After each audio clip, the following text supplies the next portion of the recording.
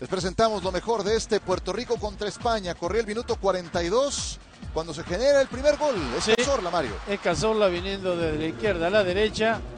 El remate que ya habían probado varios jugadores de afuera del área es Cazorla el que acierta. Gaudet que esta- en este tiro nada pudo hacer y España ganaba 1 a 0. En tres minutos consiguió lo que no pudo hacer en los 42. Otra jugada por la derecha entre Ar- Arbeloa, Jesús Navas y el remate de C. Fábrega que se le metía muy lejos a Gaudet y marcaba el segundo. La selección española, fiel a su costumbre, tuvo mucho más tiempo el balón en su poder.